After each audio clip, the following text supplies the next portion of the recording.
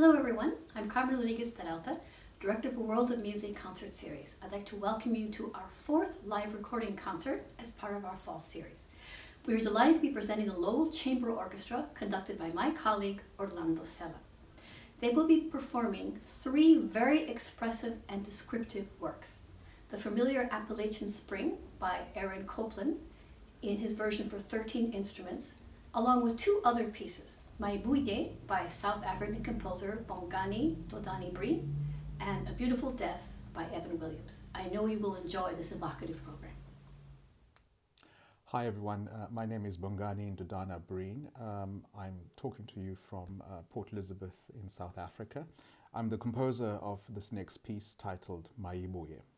The title of the work is derived from a South African uh, political uh, slogan that was used here during the anti-colonial movement and of course in the wider fight against apartheid. The slogan itself means uh, basically Africa must be returned to its native people. Um, I grew up um, uh, hearing this slogan being shouted at political rallies when I was a child and a teenager here. And um, so I use it as the title for this piece. Uh, the work itself is based on some uh, vocal music um, from Xhosa culture, which is my culture, and Ndebele and some Zulu uh, music. Um, it's interesting to notice uh, the, the rhythmic nature of, of, of some uh, of the moments in the work, particularly playing against two rhythms um, that I, I, I use. Um, also, from a melodic point of view, um, you'll notice that some of the melodic material is derived from uh, a six-tone scale called a hexachord, which is very much prevalent in the music of, um, uh, of uh, traditional Xhosa culture, which is where I come from. Um, I'm very grateful to Orlando and the fine musicians of the Lowell Chamber Orchestra um, for playing this piece and programming it, um, especially in these uh, interesting times that we live in. Um, I hope you enjoy it, and uh, hopefully we can um, uh, have this experience live very soon in person.